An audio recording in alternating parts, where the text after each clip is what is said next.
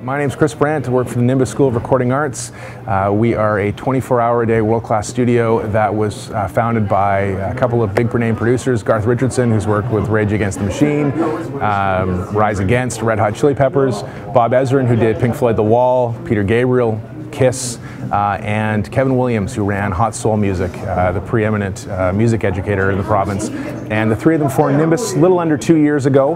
We do courses in engineering and production and music business and artist development. I teach the music business program. And uh, tonight is a showcase event uh, to hit a couple of different levels.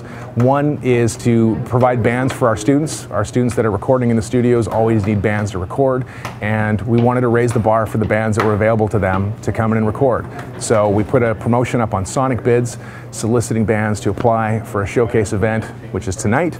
Um, the music business students pick the top four bands.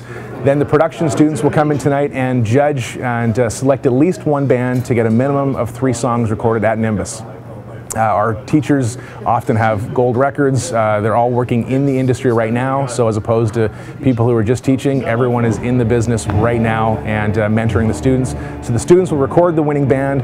The thing is, we have so many students, it's entirely possible that more than one band will get picked up for free studio time tonight. They may all get picked up. Instead of three songs, it may be an entire album.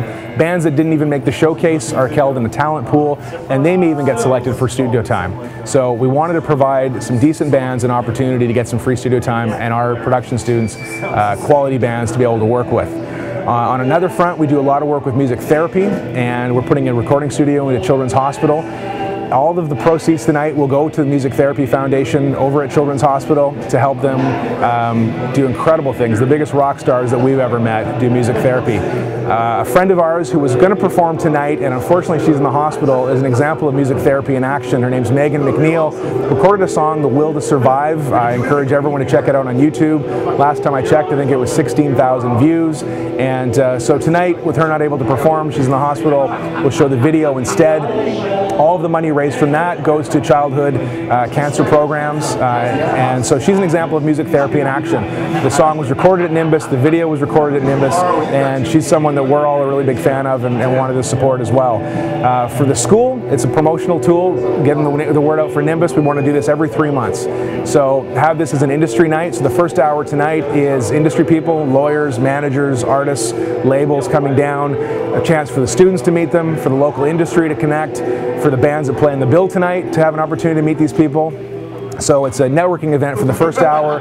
Then we're going to go into the Battle of the Bands tonight and uh, an opportunity for just four great bands to play. And every three months we're going to do this and have great bands come down and uh, give people an opportunity that hopefully whether they're a fan of the individual bands or just because they've been to a past one, that they come down uh, each time and uh, yeah, just be part of the Nimbus family.